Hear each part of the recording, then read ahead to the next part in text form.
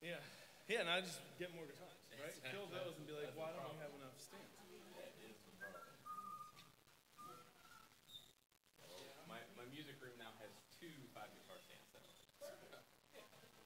Have you ever liked those like the rack ones that are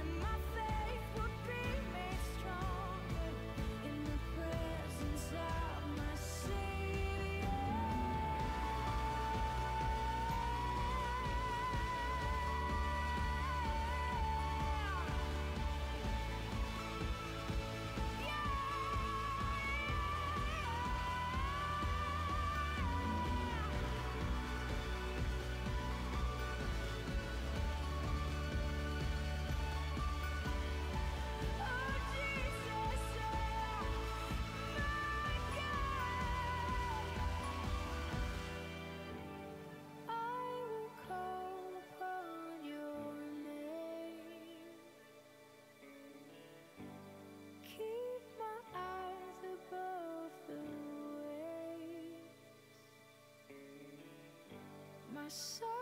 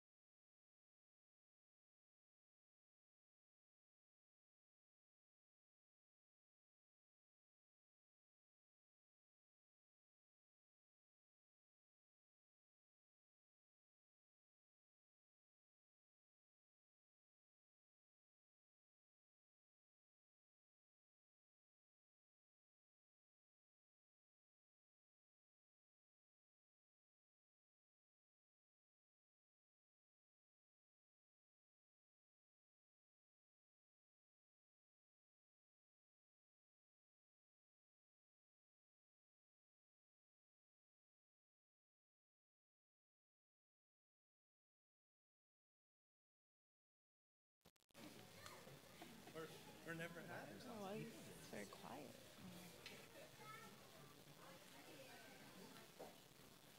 Oh, and it's 9:33. It's already time. It's what? Then there's the check check.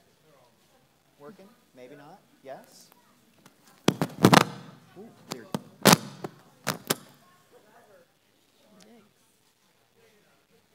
Act two? Yes, perfect. Go ahead and mute this one.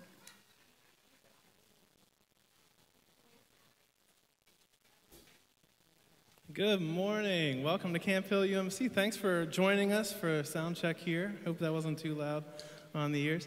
Um, we're going to check out our announcement video here uh, before we get started. And I'm Pastor Jason. Welcome to worship. And this is our friend Claire. She's joining us today. Claire, it's an exciting week. We got uh, trick or treating going on this week. What are you going to dress up as? A witch. A witch. That should be really exciting. And maybe scary. I'll be. I'll, I'll put a spell on you. Oh, goodness. Well, I hope the spell is that we have a lot of fun. And we've got some fun coming up for young adults on November 10th. That is a Sunday at noon. We're getting together at Trindle Bowl to go bowling.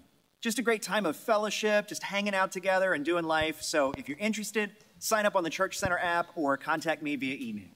And on Sunday, November 3rd, we are going to fill the van for Bethesda Mission. I got to go with Chris one Friday night and meet some of the people that live out in tents and um, out just outside, really. And it's a wonderful mission that we can help them. So fill the van, and you can find out more information in our announcements of what to bring. And so we're also looking for volunteers to help out with cookie time. Uh, on Sunday mornings, we've got some great people that make these cookies happen. We've got volunteers who have signed up but we're looking for people who want to come in early. I get here to the church at eight in the morning, and uh, Bless it- your heart. it's my time of day. And we are looking for some people who can show up about 8:30 to start prepping the coffee uh, before worship and making it happen in the community space, the gathering space. So and cleaning up after. Exactly, we need some to stay late. So if that's you, sign up on the Church Center app, email the church office. We'd love to have you volunteer. All right, shall we worship? Let's worship. Good Let's- morning. Let's, stand together here uh, and greet one another here before we sing.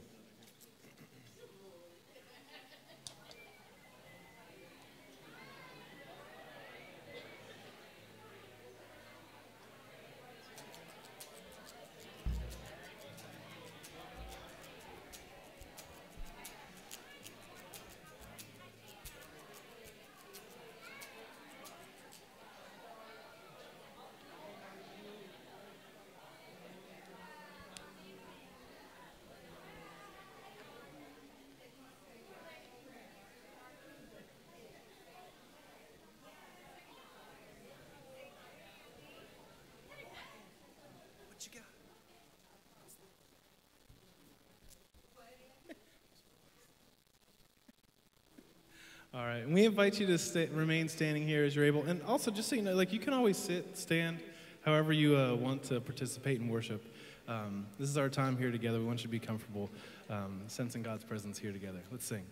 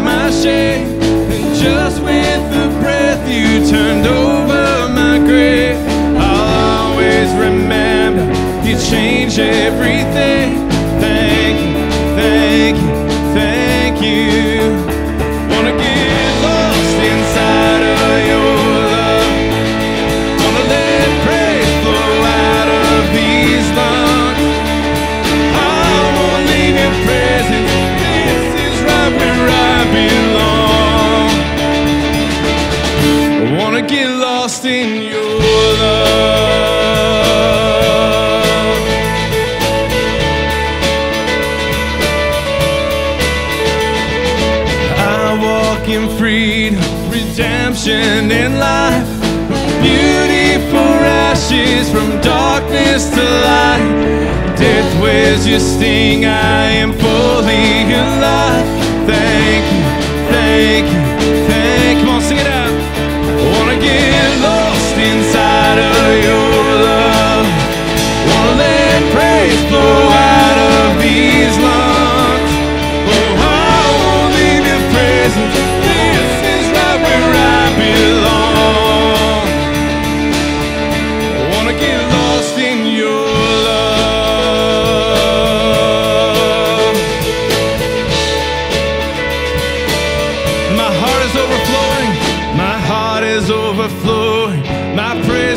stop growing.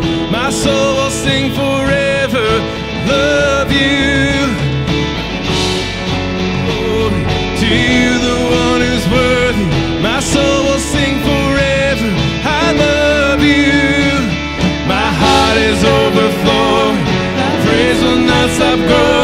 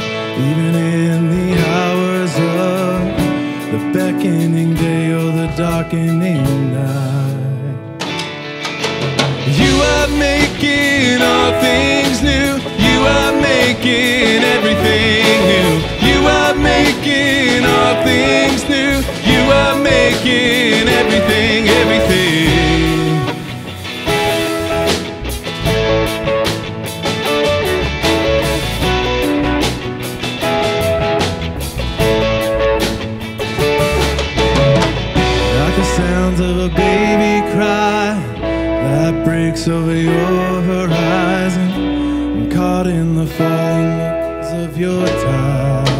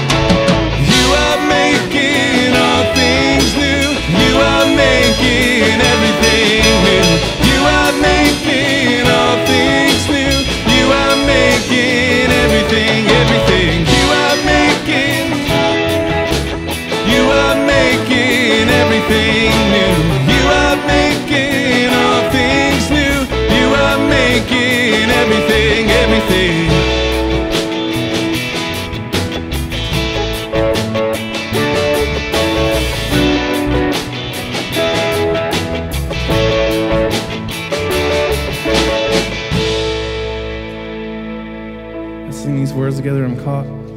Caught in your heart,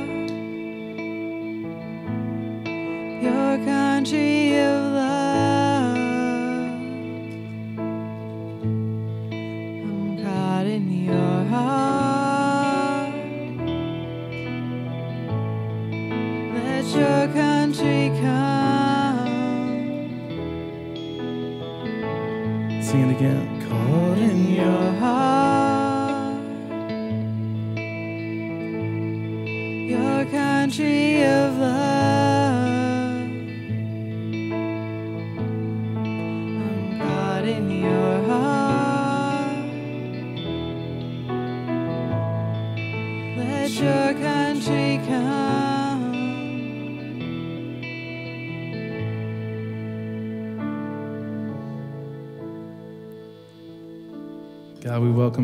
This place.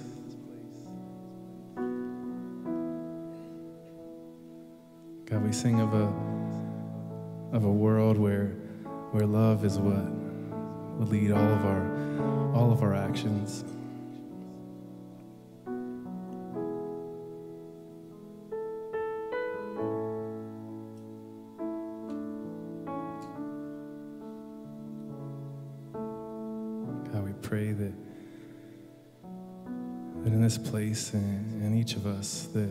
Be some space, that there'd be room.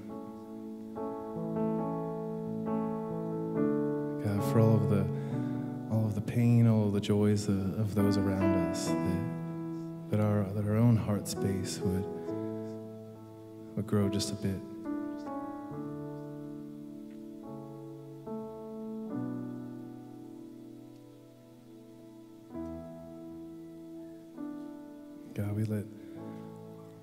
Your heart come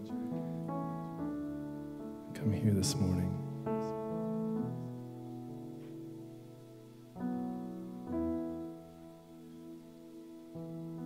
God, just fill this room, fill this space, fill our hearts with your love. It's in the name of Christ we pray. Amen. You can have a seat.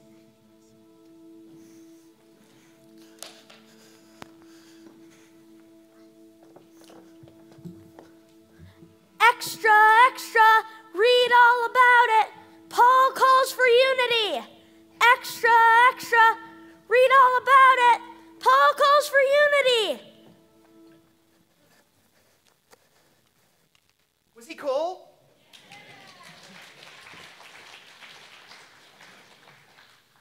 Good morning and welcome to worship. My name is Pastor Jason. Uh, it is awesome to be here. We're starting a whole new series this week entitled Navigating the News. What it's like to engage life, life that happens nationwide, locally, life that happens, well, this week as we talk about elections. And this week's theme, as you just heard it by our newsy broadcaster, is all about unity. Coming from 1 Corinthians chapter 1, Paul writes these words to the church, beginning in verse 10. I appeal to you, dear brothers and sisters, by the authority of our Lord Jesus Christ, live in harmony with each other. Let there be no divisions in the church. Rather, be of one mind, united in thought and purpose. For some members of Chloe's households have told me about quarrels among you, my dear brothers and sisters. Some of you are saying that I follow Paul, or I, and others are saying I follow Apollos, or I follow Peter, or I follow only Christ. Has Christ been divided into factions? Was I, Paul, crucified for you? Were any of you baptized in the name of Paul? Of course not. I thank God that I did not baptize any of you except Crispus and Gaius, for now no one can say that they were baptized into my name. Oh, yes, I, I also baptized the household of Stephanas, and I don't remember baptizing anyone else. For Christ didn't send me to baptize, but to preach the good news, and not with clever speech for fear that the cross of Christ would lose its power. This is the word of God for the people of God. Thanks be to God.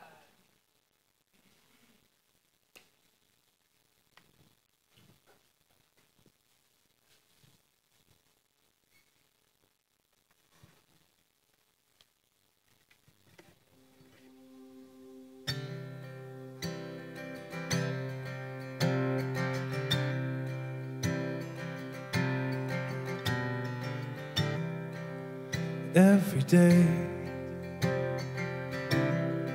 We go to war again. We assume we know so much more than them before we hear what they have to say. Headline breaks. We start to hate again. Calling them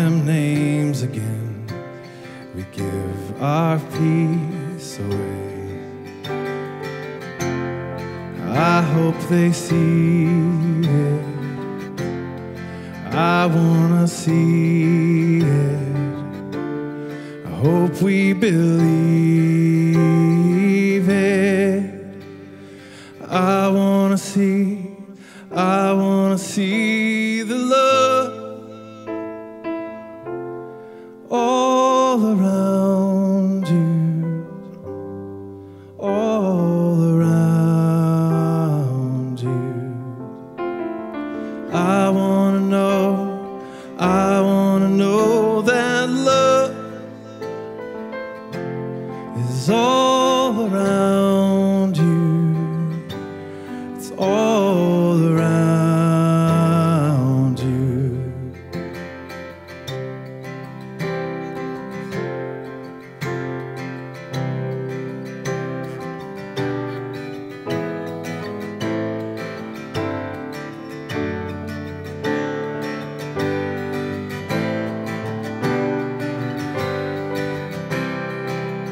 day by day. Hope fades away again. We know that there is pain within. We cannot medicate. Learn to feel. Learn to begin again. Open our eyes again brother's pain. I hope they see it as I wanna see it. I hope we believe it. I wanna see, I wanna see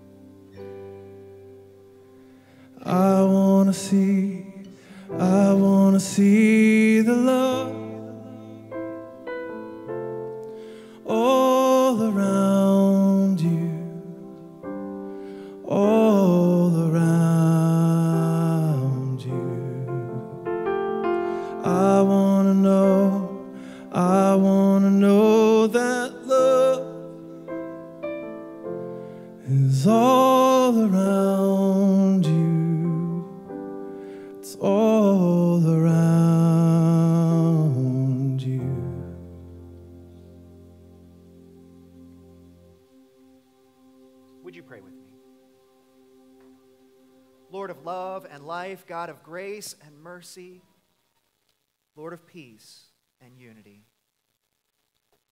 Gracious God, you sent your Son, Jesus, into this world that we might be united. United in purpose, united as your children, united as your people and your church. And our prayer this morning for this time of worship is that we might be united in spirit. That by your spirit,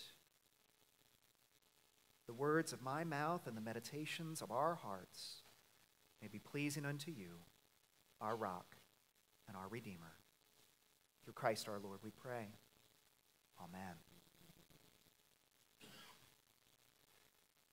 How many of you are stressed out over the last four years? Did the election season ever end? We seem to have gone from one election right into the next, and, and it has weighed so heavy on us as a country, as a culture, as a society. As I have talked to friends internationally, they have looked at the United States and said, Whoa, I couldn't do that. Well, my wife and I, we, we took a vacation with our family earlier this year, and, and we were in Rome, and we were on a cruise actually, and, and the couple that sat at our table was from Britain. They lived in England, just outside of London. And one evening at dinner, we talked about the election, and they said, How do you do it? Ours lasted three weeks, and that was more than enough. Yours seems to have never ended. You jumped from one into the next, and in fact, it is showing up all over our lives. The Pew Research Foundation recently completed a survey of Americans, and they found that 76% of Americans are suffering from chronic election fatigue. The stress is wearing us out. It's manifesting itself in physical ailments. You wake up in the morning tired. You enter every conversation on eggshells, about to be triggered. Everything just pushes it to the edge. In fact, 88%, 88% of Americans believe there are strong conflicts within our society. That is second only to South Korea, brothers and sisters. We are struggling to find unity as a country, and we are concerned about the outcome of next Tuesday's election. In fact, 70% are seriously concerned about violence being a possible outcome, and more than 50% have considered that this might be the end of democracy. Is that a thing? I certainly hope not. I hope in my deepest heart of hearts that they're wrong, but I also know I can't control that. I can't control what happens next Tuesday. What I can control is what I do next Wednesday. What is in my scope of control and power is my behavior and my choices and how I follow Christ. That, brothers and sisters, is what we control. I know I've talked to many within the church, some here at Chum and some beyond the church, and lots of people hate the possibility, hate the even uh, mention that Jesus uh, might get involved in politics, that, that we might talk about politics in the church. They're like, no, no, the church has no place in the voting booth. Okay, but let's not confuse the fact that Jesus is political. As you read the scriptures, as you read the gospels, Jesus is most definitely political. Jesus starts his life as a refugee to an unwed mother. He then challenges the political leadership of the day. He instructs his, so, his followers for social justice and reform for women, children, the poor, the marginalized, immigrants, and the disabled. And then he has the gall to declare himself the fulfillment of God's promise of a one world order called the Messiah, the Christ. Brothers and sisters, we believe, we affirm, in fact, we celebrate that Jesus is political. Jesus lifts us up beyond this temporal realm into God's holy kingdom. We praise God for that. But it's important to acknowledge that Jesus is not partisan. Jesus does not side with one side over the other. Jesus does not vote red or blue or green or purple. Jesus is outside the system. And in fact, in Scripture, when people try to take hold of Jesus and claim him for themselves, he rebels. Simon the Zealot tries to claim Jesus as his own, and he's like, Whoa, whoa, whoa. Uh, the Zealots, the, the people who want to overthrow the government of the day, they're like, Yeah, revolution, Jesus. And he's like, No, guys, that's not why I'm here. In fact, he had the power to overthrow the government. He had the power to unseat Pontius Pilate. And yet, in a conversation right before Jesus is crucified, he chooses death over overthrowing the government. Our Jesus would not allow his message to be compromised by any human authority. So, how is it that we, as people of faith, worship and follow a Lord who is political, not partisan? How is it that we, as people of faith, may enter the next two weeks to do the same? Because I believe we are called to do the same. Some religions believe that they should abdicate political activity. My sister is a Jehovah's Witness, and she wants nothing to do with voting, and I respect her decision. Others believe that they should vote deeply and regularly and maybe more than once an election. I don't know. There's definitely something exciting about voting. It gives you an opportunity to, to make a decision. In my office uh, at the agency, at the insurance agency, we have a young woman who uh, recently immigrated here from Spain. And she took her citizenship test a, a, couple of years ago. And this is the first time she will ever vote in an election. Do you understand how excited she is? She is over, overjoyed to, to have her voice heard even if it's only one voice out of millions. She's excited about the candidate she, she's voting for. In fact, I hope that, that you may find some, some excitement, you may find some attraction to the candidate that you are voting for.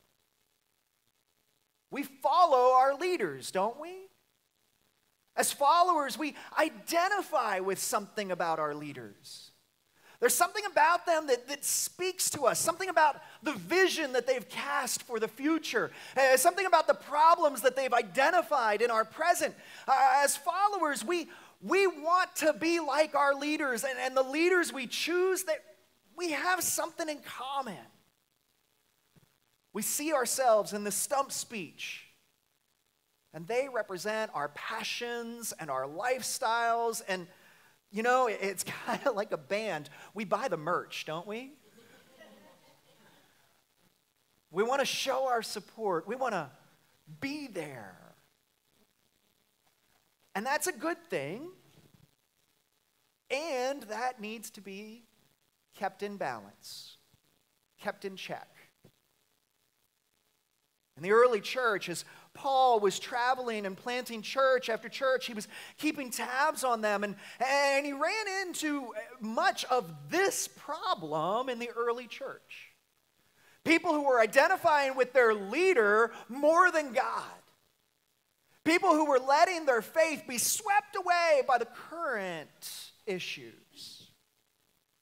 In his first letter to the church at Corinth, uh, Paul is addressing a situation of division that is springing up in the church. Uh, people are, are getting divided over who brought them to the faith. Some of them are saying, oh, well, I, I follow Paul. Uh, no, no, I follow Apollos. No, I follow Peter. No, I follow Christ. The early church is being divided over the things that, that are important to them, and, and and they're allowing these things to trump their faith. See, in the early church, Paul had traveled so broadly. He's the most prolific New Testament writer because he traveled from town to town to town, planning congregations everywhere. And people were so excited about him because Paul brought something new. Paul, Paul brought the message of Jesus Christ to more than just the Jews. And so, for the people that Paul converted, for the early teachers and disciples that Paul had, they were thrilled. They were like, oh my gosh, Paul is the coolest thing since sliced bread, but we don't have sliced bread yet, so Paul's just cool. Paul was so different and, and so exciting for them because he, he made the law uh, something that was set aside, something that, that divided them from, from God. Uh, Paul made the law approachable. He made a relationship with Jesus and with God seem natural. And so, man, they followed Paul with a passion. And those other people, those Jews who converted to Jesus, man, they just followed Peter. They kept the law. They wore the tassels on their clothes. They, uh, they kept their beards long and their women covered their heads. They, uh, they lived a very different lifestyle. They didn't eat whatever they wanted to eat. They could not have a cheeseburger. It's very sad. And yet, those faithful Jews, as they came to understand Jesus in a new way, they appreciated Peter so much because Peter reached out through the law and said, Look, this Jesus is the fulfillment. And then Peter went on to set an example of how a faithful Jew would live. And the people who followed Peter were so excited. Man, he makes it make sense. I can be a good Jew. And then there were those who followed Apollos. Apollos sounds like a fancy Greek name, doesn't it? That's exactly what it is.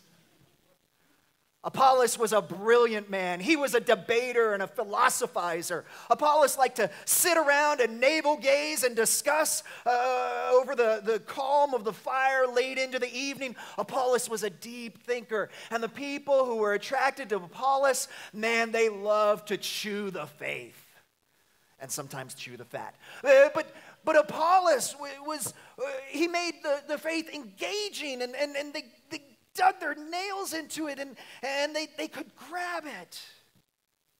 And the people who followed Apollos were, were so dedicated and they, they came to understand the message of Christ in a, a new and abstract way that he was setting a, a new possibility, a, a new paradigm for the ethical and moral engagement of the divine. Okay, not a lot of Apollos followers here. One by one, the church started to fall into little camps where they followed Peter or Paul or Apollos. And, and those who wanted to rise above the fray, they said, you know what? It ain't about that. It's about Jesus. I follow Christ. I'm better than you. And therein lies the fatal flaw, doesn't it? Christ is wonderful. Christ is the Messiah. Christ is our leader, and yet claiming that we are better than, we have lost Christ. The early church becomes divided over all of their differences, their differences rooted in their leaders of faith. And they lost sight of their commonalities. They lost sight of God. They lost sight of redemption. They lost sight of grace. They lost sight of faith. They lost sight of the humanity of one another and the unity of community.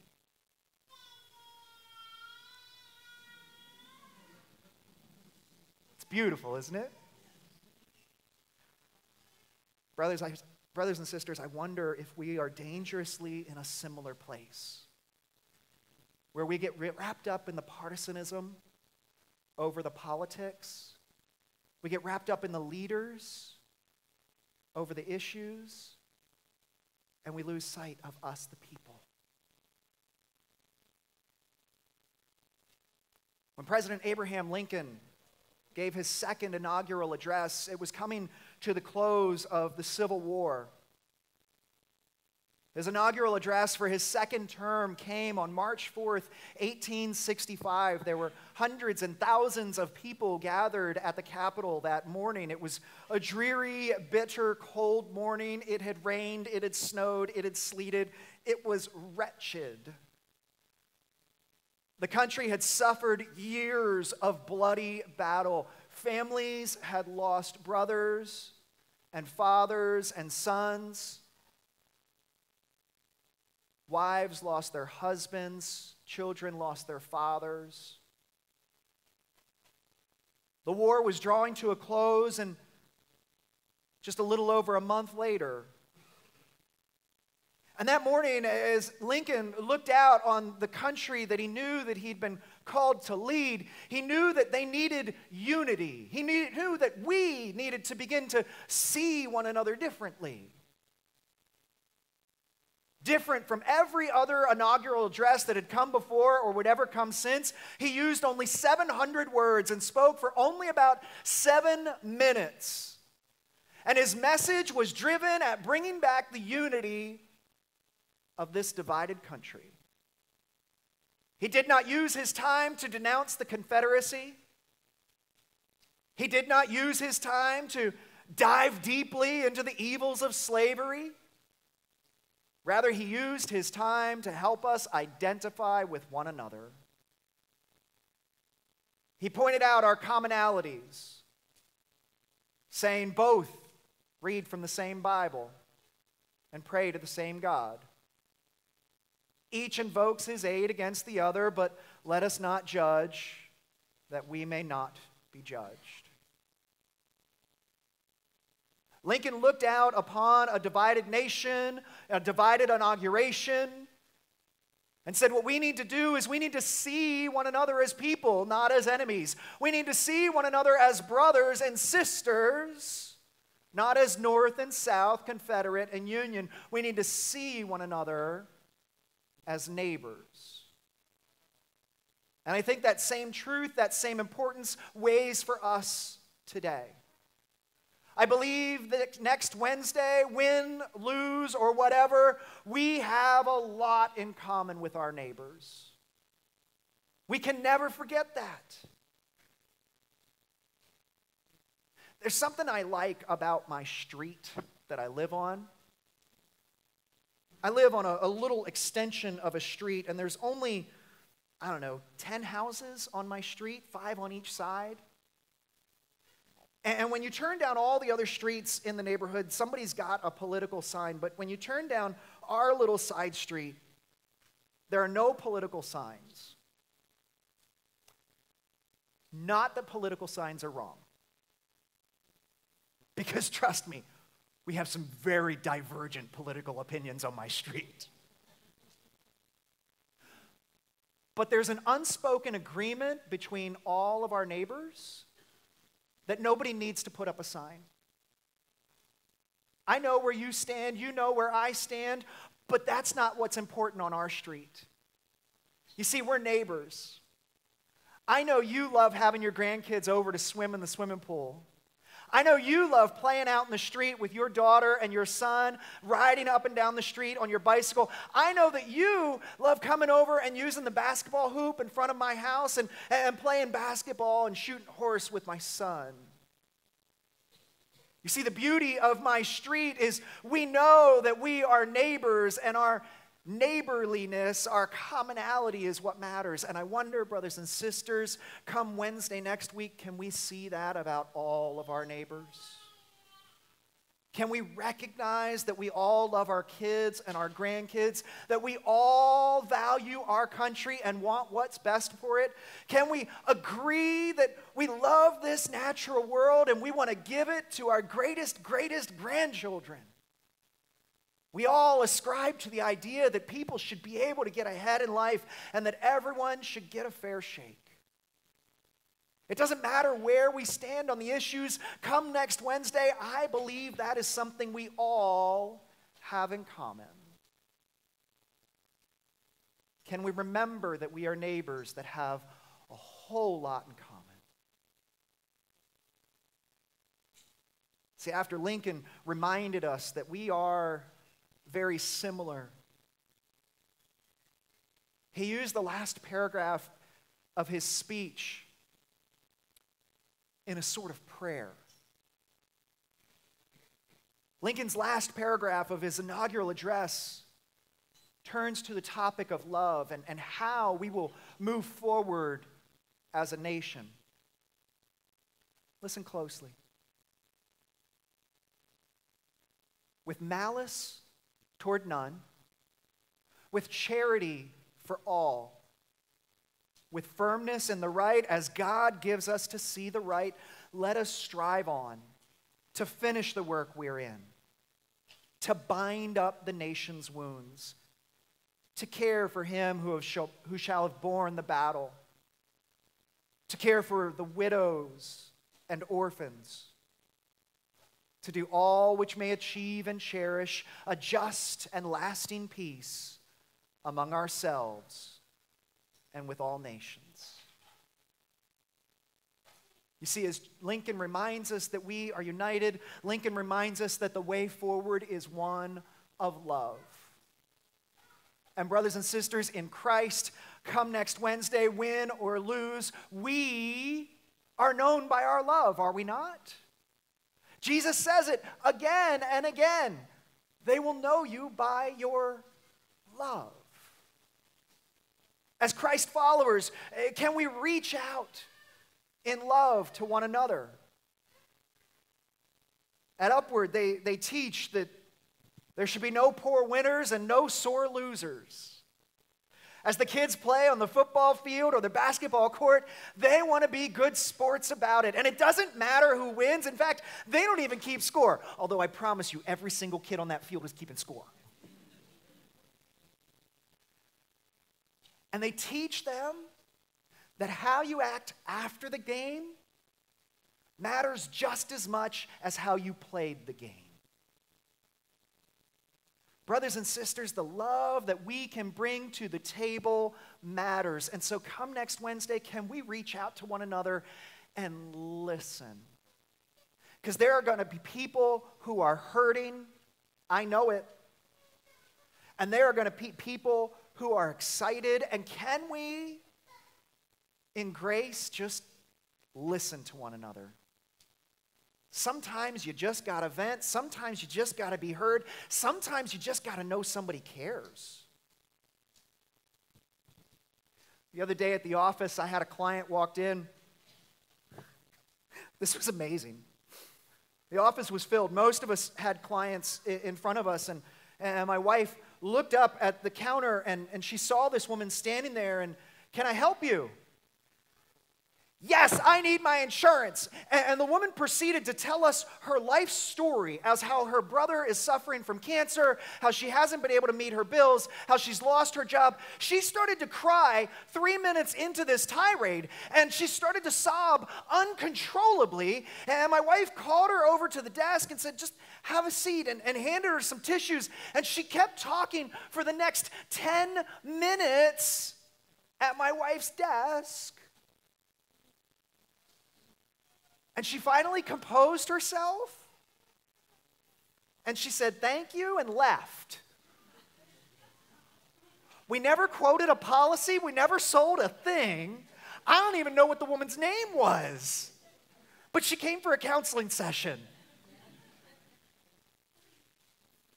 There are going to be a lot of people like that next week.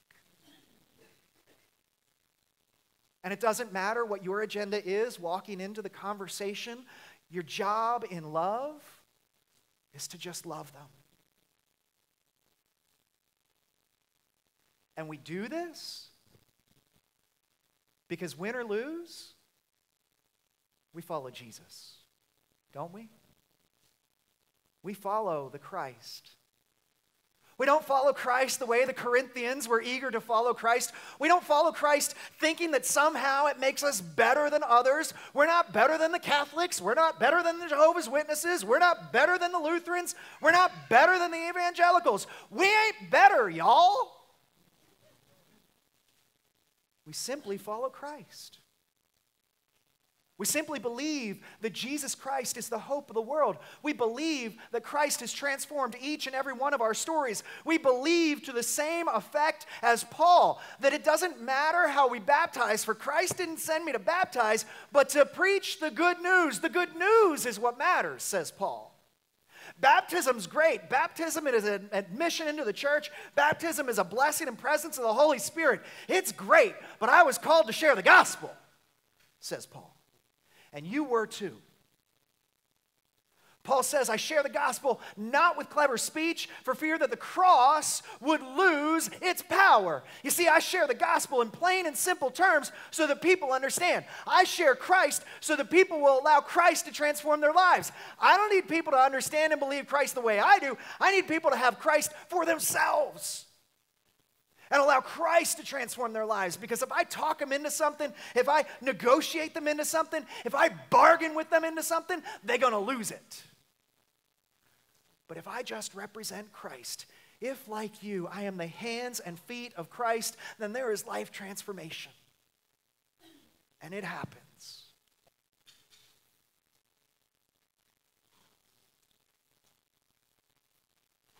I got a lot of stress and concerns over next week.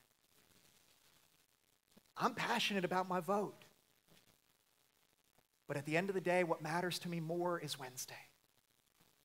It's how we will change the world. Yeah, your vote matters. Yeah, your vote can influence the future of our country. But your actions will influence the future of our community. So, brothers and sisters, I invite you to engage the elections in a new and different way. May you carry the unity of Christ with you, always. Amen? Would you pray with me?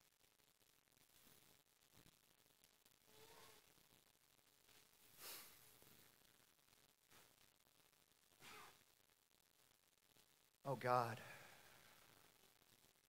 God, we need you. God, we love you. God, we thank you. Lord, some of us are stressed out about next week. Some of us are stressed out about this morning. Some of us just live in a chronic state of stress where we can't fix it, we can't control it, we can't do it on our own. And so, God, this morning we turn to you. We turn to you with our stress. We turn to you with our heart's deepest concerns. We turn to you in faith, knowing that you are a great and powerful God. You are a mighty, miracle working Savior. You are a God of love and possibility. And so, Lord, we pray for your Spirit. We pray for your presence in our lives, in our communities. We pray that you show up in our neighborhoods, in our streets. We pray that you protect our children and our schools. We pray that you reach out to the communities still suffering from hurricane damage. We pray that you reach out to the to the places of pain and sorrow and violence. We pray that you reach out through Israel and Gaza and Lebanon and Iran. We pray, God, that you reach out into Ukraine and Russia and North Korea. We pray, God, that you reach into our lives and remind us that you are still on your throne. We pray, God, that you might send forth your Holy Spirit to bless us with peace and healing. God, may we be your ambassadors in this world. May we be passionate about the issues that matter to us. But more importantly, may we be faithful to be your people, bringing unity and love in all that we do. We pray this, God, in Jesus' name. And all God's children said, Amen. This morning we turn our attention to our offering, giving of our tithes, our gifts, and our offerings. And in a moment, the baskets are going to pass around as they normally do. And, and this morning, you have a unique opportunity. I know some of you give online, some of you text, some of you already have it set up, and you're like, I don't need that basket. But this morning, I invite you to grab that basket because hopefully you brought a pledge card. This morning is uh, Pledge Commitment Sunday, and uh, we're asking you, we're inviting you, maybe you've never done this before, uh, to make a commitment. A commitment to Camp Hill, a commitment to God and to Christ, and the ministries that, that we hope to bring and make possible here at Camp Hill, at Chum. And, so on the back of the pledge card is an opportunity to fill everything out. Hopefully, you got this a couple of weeks ago in the mail and, and it had a little explanation with it. And, and hopefully, you've been praying over this. Uh, maybe you haven't. Maybe you got the pledge card this morning and you were like, wow, that's cool. Huh. and hopefully, you can take a moment uh, to pray over it now. And if you don't feel. Uh, if you don't feel ready to give a card this morning, that's okay. You don't have to. It's an invitation, it's an offering. Um, and, and if you want to give it later, maybe you want to mail it into the church, or maybe you want to give it at a future week, that's fine too. We use these to try to plan the ministries for the next year, to try to anticipate where our budget is going and, and how God is providing for ministries and, and how our leaders should make important decisions about the resources that we have at our disposal. And so this morning, as you consider what to give, you're giving your tithes, your gifts, and your offerings, you're completing your pledge cards. I want you to know that everything that you give goes to change lives. And you saw that hundreds and hundreds of times over in the parking lot this weekend. Uh, somebody told me that we saw upward of 500 kids uh, through our trunk or treat yesterday. It was so much fun. Um, and, and the upward kids, they came early, they stayed late, they got sugared up, their coaches hated us, whatever. It's things that you make possible. So this morning, as you consider your pledge card, as you consider offering your tithes and your gifts, I want to say thank you. I want to invite you to give with a thankful heart and take a look at this video.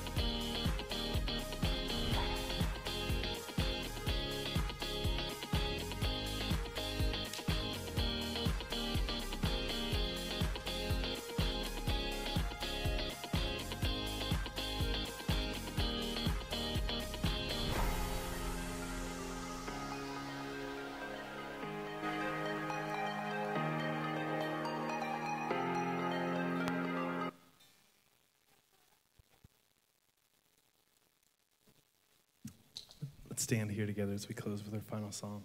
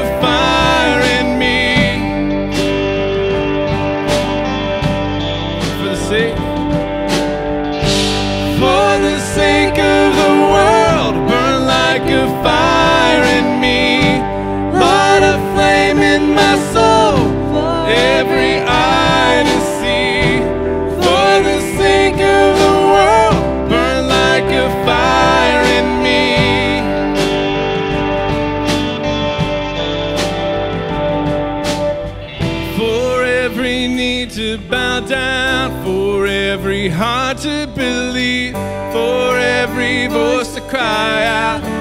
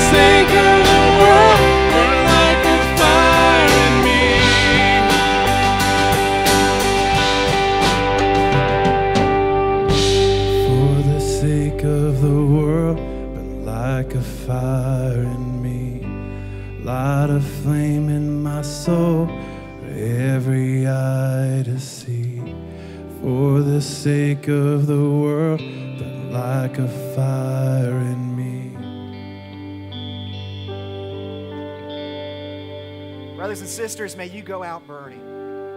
May you go out burning for Christ. May you go out burning for unity. May you go out burning for peace. For the sake of the world, may the Lord light a fire, a Holy Spirit fire within you. So go in the name of the Father, the Son, and the Holy Spirit. Amen.